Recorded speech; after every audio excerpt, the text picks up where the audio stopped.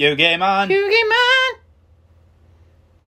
Part 5 Tristan. Alright, starting off with Cyber Commander. When I looked at Cyber Commander, I kind of thought of the rocket launchers on his back, and that reminded me of Genesect.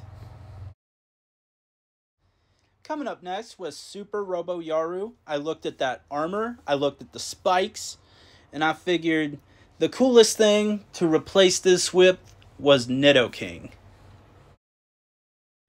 Next, with his accomplice, Super Robo Lady, I figured since it's a male female duo pair, it wouldn't be complete without Nidoqueen.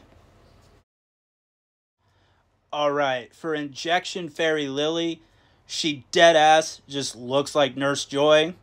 And when I think Nurse Joy, I think Blissey. For this one, I thought of the whole lineup Gaga Gigo, Giga Gaga Gigo, and Go Giga Gaga Gigo for that entire line.